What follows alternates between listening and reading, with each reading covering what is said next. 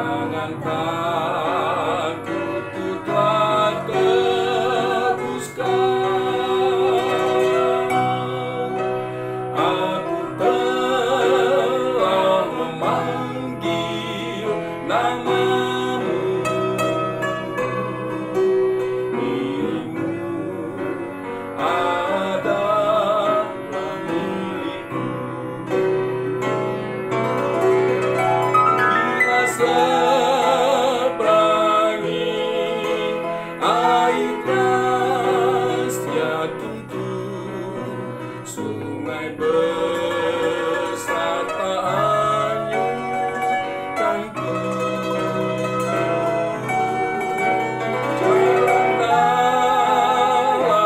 api unggun dituntun dan nyala api